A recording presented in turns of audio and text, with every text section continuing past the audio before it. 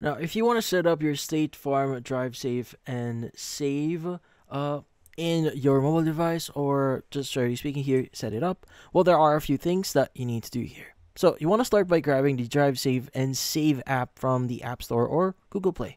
Now, once it's actually installed, you want to open it up, sign in using your State Farm login uh, details or credentials, and this links the app directly to your insurance account.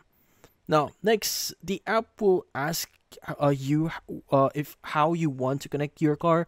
So if you got a Bluetooth beacon from State Farm, make sure it's already in your vehicle. Usually stuck to the windshield or dashboard here. But if your if your car is already a connected vehicle, you might not even need the beacon since the app can pull data directly from the car system.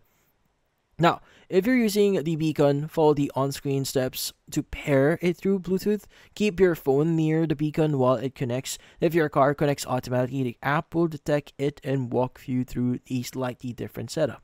Now, before start before you start driving here, make sure your phone's location, Bluetooth, and motion tracking settings are turned on because you'll be needing this while you're using it. Now, this features let the app record your trip and collect accurate driving data.